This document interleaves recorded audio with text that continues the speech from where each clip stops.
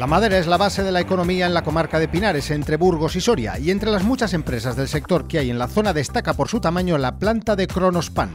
Hasta 150 camiones de troncos llegan cada día a estas instalaciones en las que se fabrican tableros de fibra para la industria del mueble. La empresa austríaca emplea casi 400 personas en Castilla y León mucho procedente de la provincia de Burgos, aproximadamente un 30%, también de las provincias limítrofes de Soria, de Palencia, de Segovia. Estamos en una zona que tradicionalmente ha vivido sobre todo del monte del pino. Sí, estamos en una zona en la que hay más de 40 serrerías, entre esas dos infantes donde tenemos nuestra fábrica y Soria. Y a partir de esta astilla, ¿cómo conseguimos la fibra, que es con lo que vamos a fabricar el tablero finalmente, ¿no? Esta astilla lo primero que vamos a hacer es empezar a cocerla y estrujarla. Ha entrado en la zona de formación, ha pasado por la formadora, con lo cual ya va una manta completamente estable, se ajusta en altura y posteriormente unas sierras lo van a ajustar en ancho. Aproximadamente ahora mismo estamos sacando unos dos camiones por hora.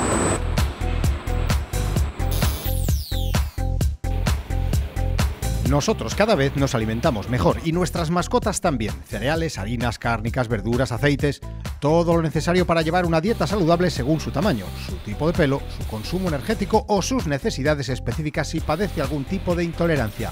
El grupo DIVAC, además, elabora alimentación para peces de piscifactoría. En este caso es un producto para gatos, entonces buscamos que sea un producto crujiente, por lo tanto tiene que tener una densidad baja, la humedad también tiene que ser baja porque a los gatos les gustan los productos secos. Es carne de pollo, Aquello que ves allí son pulmones de vacuno y lo otro que es tocino. Esto ya es producto gourmet, ¿no? Para las mascotas. Esto es un, producto, sí, delicatese. Si es que las miman demasiado, yo creo ahora, ¿eh? Muchísimo, muchísimo. Ten en cuenta que la mascota hoy en día es un miembro más de la familia, con lo cual pues hay que quererle y hay que mimarle. Hay especies como la trucha que van a comer arriba o en condiciones de semiflotabilidad. Entonces tenemos que conseguir un producto que flote.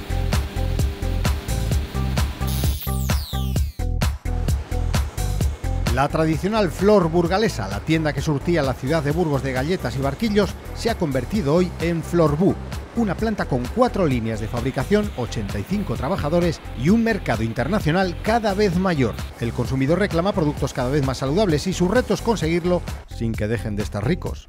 ¡Qué pinta con las pepitas de chocolate! Pues ya lo tenemos todo mezclado, todo amasado y ahora lo que vamos a hacer es con un molde darle la forma de la galleta que nosotros queramos. Es muy importante que el enfriamiento de las galletas sea despacio y que sea un enfriamiento natural. Aquí lo que hacemos es echar el batido, verter el batido líquido sobre unas placas calientes que se cierran, se extiende todo el batido, tiene una fase que le mete aire a presión para hacerlo que esponje como una especie de nata montada, por eso tiene esa textura.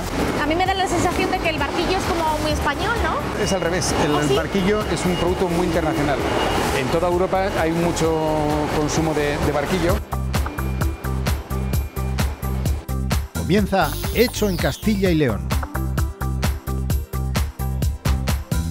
Ya los visitamos en Burgos, pero Cronospan tiene otra planta más en Castilla y León. Estamos en Tierra de Pinares y aquí la empresa austriaca fabrica tableros de pino para la industria del mueble. Dan trabajo a más de un centenar de personas y garantizan el aprovechamiento forestal de una zona en la que el monte es y sigue siendo la principal fuente de riqueza. Bernie, buenos días. Hola María, buenos días. Ya visitamos vuestra planta de Burgos, tenéis otra en Salas de los Infantes, en esta comarca de Pinares.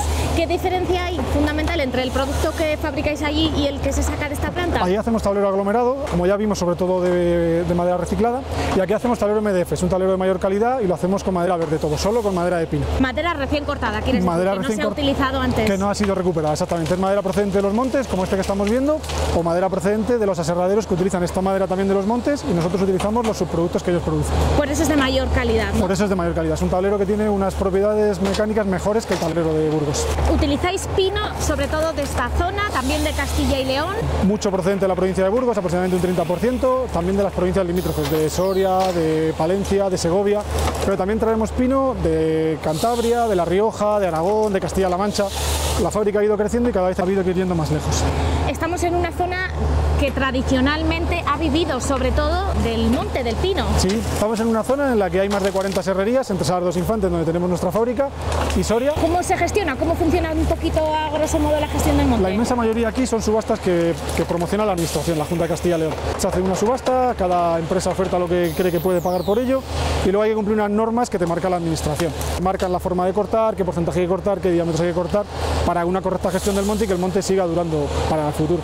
Esto garantiza que los montes estén ordenados, que no haya incendios porque están limpios. La industria hace que los montes se gestionen, hace que los montes estén bien gestionados y evitan el riesgo de incendios que bueno, hemos visto este verano que hemos tenido muchos problemas en Galicia y en algunas zonas de Castilla y León. ¿Cómo funciona esta máquina? Esta es una procesadora forestal, coge los pinos, los corta, los trocea a la medida que necesita la fábrica y los derrama. Luego detrás de ella viene un autocargador, que es como una especie de tractor, que lo que hace es recoger esta madera y sacarla a un punto de carga, donde pueden llegar los camiones de carretera para llevarlo a la fábrica. O sea que con dos máquinas Con, se dos, hace todo con aquí. dos máquinas hace todo el trabajo, exactamente. ¿Qué cantidad total de madera se utiliza en vuestra planta? En la planta de sala se utilizan 60.000 toneladas de madera al mes.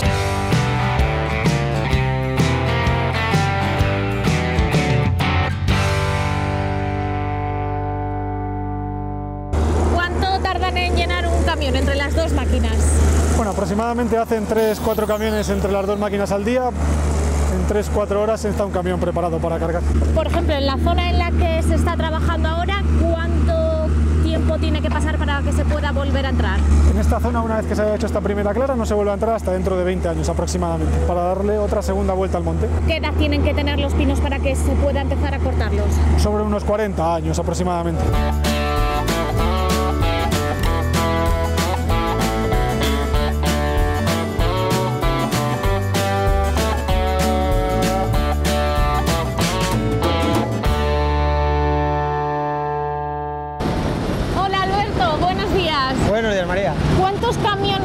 Madera llegan aquí diariamente? Pues alrededor de unos 150 camiones. ¿Y qué es lo que hacéis con los troncos? El tronco lo descortezamos y lo picamos para hacer astilla. Es lo que hemos estado viendo aquí dentro, que había mucho ruido, ¿verdad? Exactamente, es, la astilladora, tiene una potencia de 1000 kilovatios. O sea, todo se convierte en astillas como estas. Todo se convierte en astillas como estas y la parte exterior, que es la corteza, la vamos a utilizar como biomasa para la caldera. Y con esta caldera, ¿qué es lo que conseguís?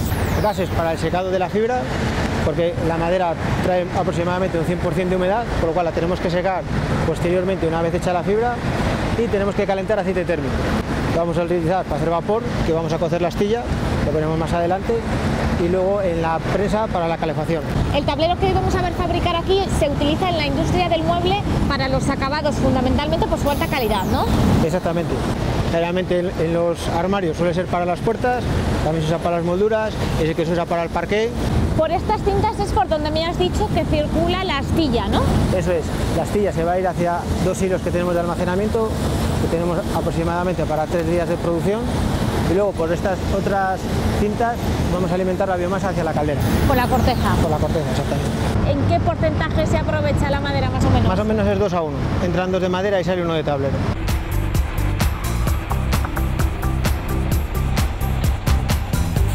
¿Qué tenemos aquí, Alberto? Bien, aquí lo que tenemos es la astilla que vamos a utilizar en el proceso, los finos que no nos valen para nuestro proceso y la fibra final que es con la que vamos a hacer el tablero. ¿Y esto por qué no nos sirve? Es muy fino, que haya muchos problemas en el proceso. ¿Y esto cómo se el- retira? a través de una mesa de rodillos que tenemos sobre nosotros, son muchos rodillos seguidos, van girando y un tamaño de malla muy pequeñito, igual que un colador. Y a partir de esta astilla, ¿cómo conseguimos la fibra, que es con lo que vamos a fabricar el tablero finalmente, ¿no? Esta astilla lo primero que vamos a hacer es empezar a cocerla y estrujarla, la subiremos a unos 90 grados, la vamos a pasar por un tornillo, igual que las máquinas antiguas de hacer los chorizos.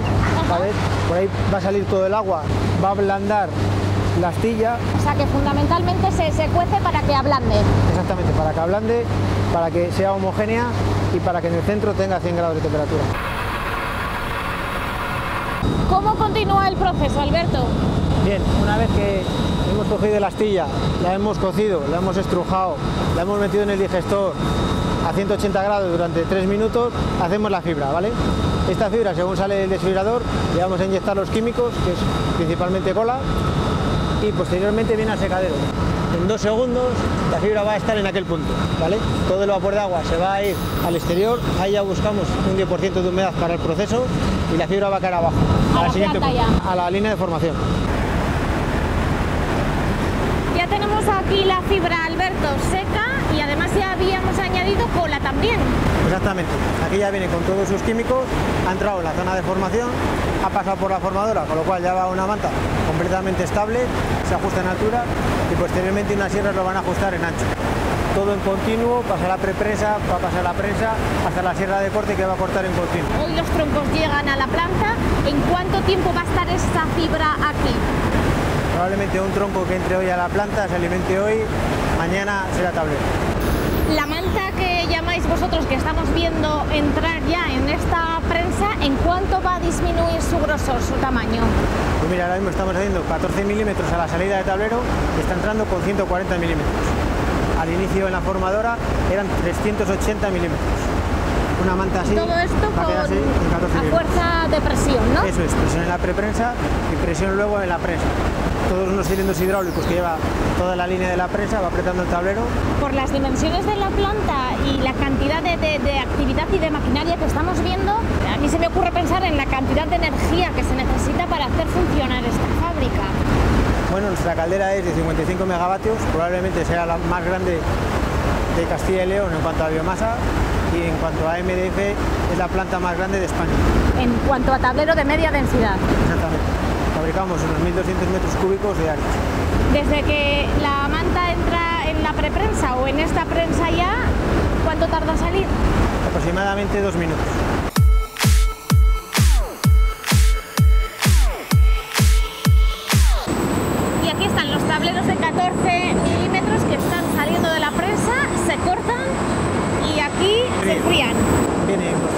130, 140 grados, lo bajaremos a unos 50 grados.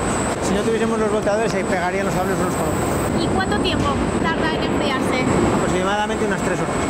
Lo vamos a alejar, lo vamos a cortar a medida de los clientes. ¿Qué cantidad de tablero se hace aquí cada día entonces? Aproximadamente ahora mismo estamos sacando unos dos camiones por hora. Todo en grandes cantidades aquí, porque hablando de la caldera me has dicho que se quemaban como nueve camiones de madera todos los días. Aproximadamente nueve camiones de madera que vamos. ¿A dónde se va este montón de tableros, Alberto? Pues este paquete se va a ir al almacén intermedio. Un almacén que tenemos entre la prensa y la lijadora, donde va a estabilizar el tablero durante dos días. En el almacén intermedio se, se colocará en la posición en la que el prensista le ha dicho que se tiene que colocar y cuando el lijador dentro de dos días llame ese paquete, desde esa posición automáticamente irá al transfer, cogerá el paquete y se lo llevará al lijador.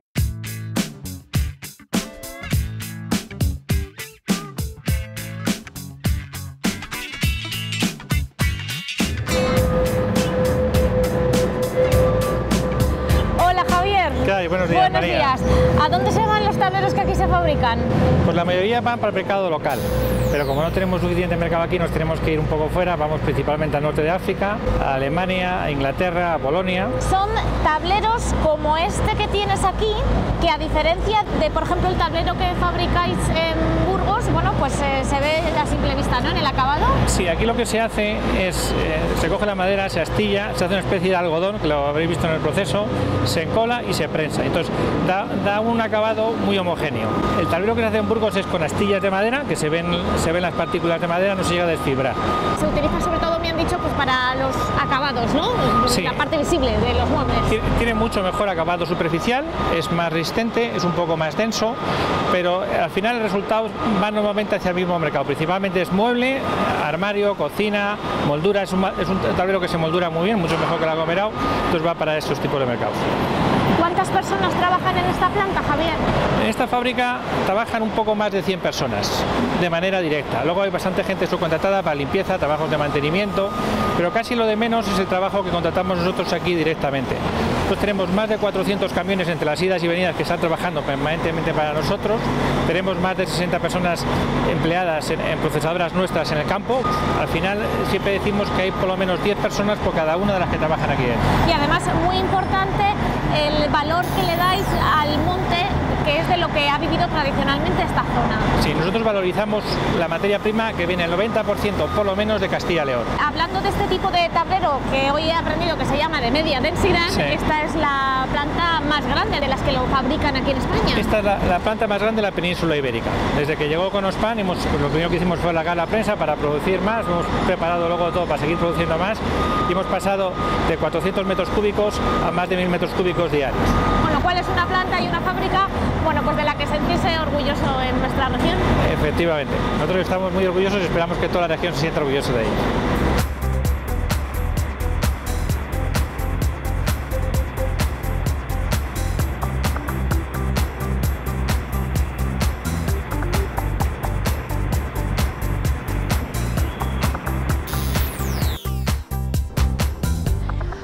Especialistas en nutrición animal y fabrican alimentos para mascotas, perros y gatos y también para peces de piscifactoría. Tienen tres centros de producción en Fuente Pelayo, en Segovia, donde la empresa se fundó hace casi 70 años y hoy venden sus productos en más de 30 países.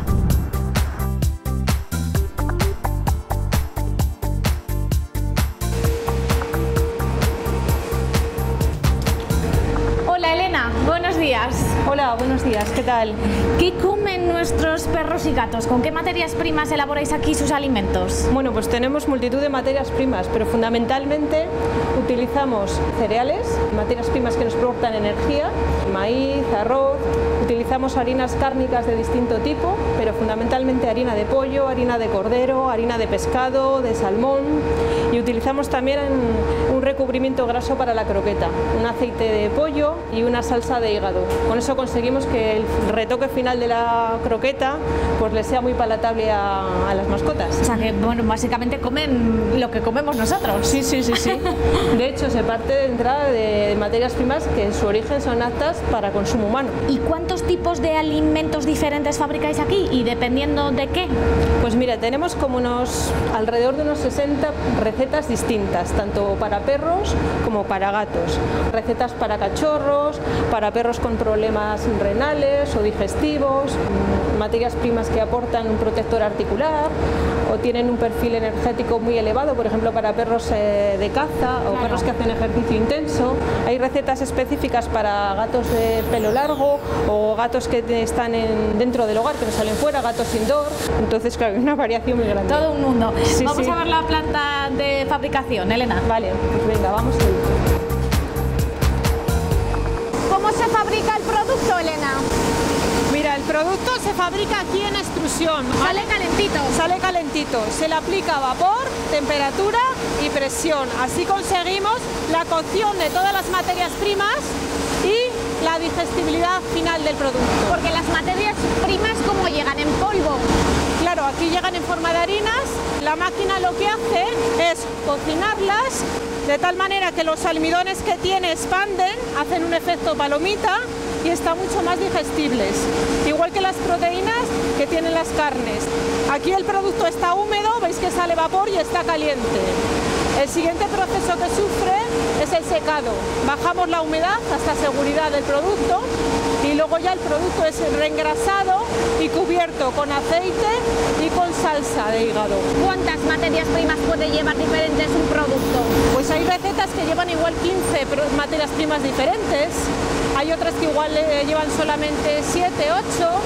Mira María, aquí el producto ya está finalizado, ¿vale? Listo para perdido- envasar. Eso es, ha perdido la humedad, tiene la temperatura adecuada y la densidad.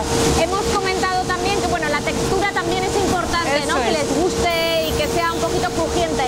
Eso es, en este caso es un producto para gatos, entonces buscamos que sea un producto crujiente, por lo tanto tiene que tener una densidad baja, la humedad también tiene que ser baja porque a los gatos les gustan los productos secos, además la humedad baja actúa como conservante, evita que se estropee, que salgan moho y es fundamental. Por eso este equipo mide en continuo cada 5 minutos humedad, temperatura y densidad. A los perros no les gusta tan crujiente como a los gatos. También les gusta crujiente, pero sin embargo les gustan los productos más húmedos y a los gatos más secos. ¿Y qué cantidad de, de alimento fabricáis en esta planta? En estos momentos estamos fabricando 3.500 toneladas al mes, pero la planta tiene capacidad para hacer 120.000 toneladas al año.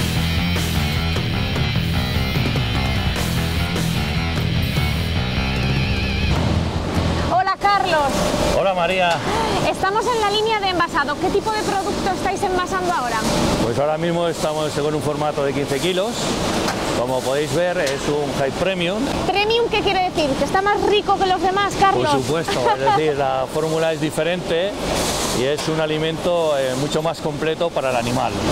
¿Cuál podría ser la dosis diaria recomendada para un perro, por ejemplo? Pues estamos en unos 30 gramos para perros de razas pequeñas, hasta 700, 800 gramos para animales ya grandes. ¿Y en qué tipo de material se envasa el producto? Pues dependiendo de la calidad del producto, pues trabajamos o bien en aluminio, trabajamos en plástico o trabajamos en papel. Todo el proceso nuestro es un proceso de termosellado para que sea hermético totalmente el envase.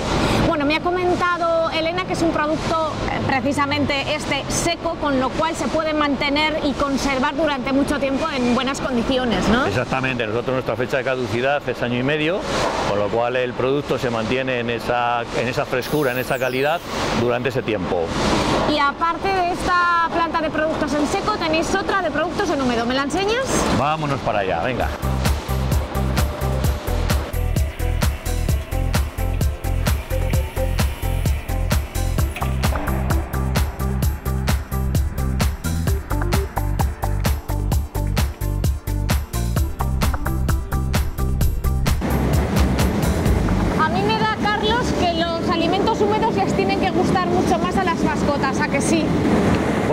Alimento húmedo es diferente al alimento seco, entonces bueno, es un alimento más jugoso, ¿Qué utilizáis? ¿Qué es esto? es carne de pollo, aquello que ves allí son pulmones de vacuno y lo otro que es tocino. To- Congelado, todo. Todo, sí, si trabajamos, toda la materia prima que utilizamos es en congelado. ¿Qué están haciendo ellos? Bueno, ellos lo que están haciendo es el primer paso que lleva el proceso de las masas. Es una arañadora que va arañando progresivamente el bloque y le va despedazando, por así decirlo. Luego de aquí ya pasa la al picado.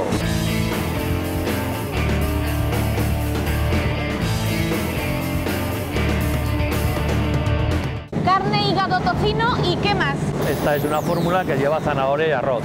¿Son productos estos igual de completos que los secos que acabamos de ver? ¿Se suelen complementar o se elige una u otra opción? No, lo que se suele hacer es elegir una u otra opción. Bueno, a veces se mezclan, ¿no? También. Sí, bueno, a veces se mezclan, pero digamos que no es la, la opción mejor, porque al animal lo que le estás haciendo, por así decirlo, es engañarle a la hora de alimentarle. Claro, porque esto hemos dicho que es como mucho más jugoso y le gusta más, ¿no? Es un poquito más jugoso, entonces, bueno, digamos que el alimento seco tiene que ir por un lado y el alimento húmedo tiene que ir por otro.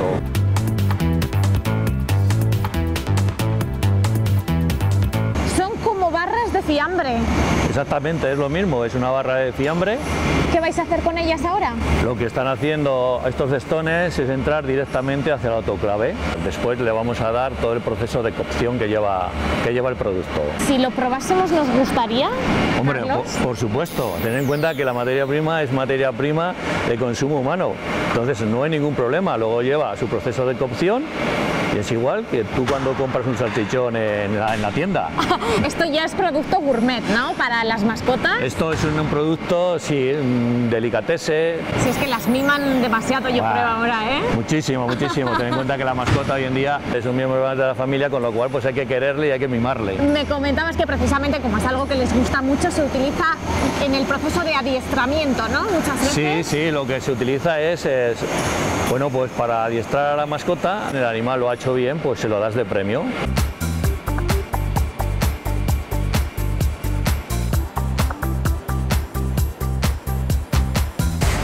Y este es otro producto húmedo, Carlos.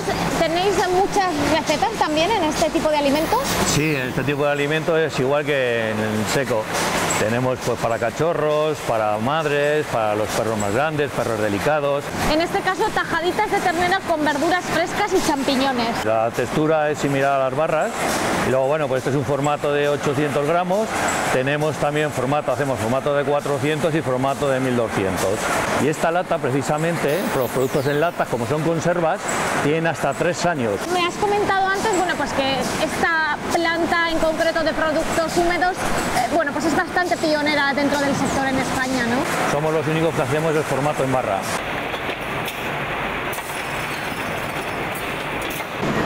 Carlos, me estás tentando porque a estas horas yo ya empiezo a tener hambre.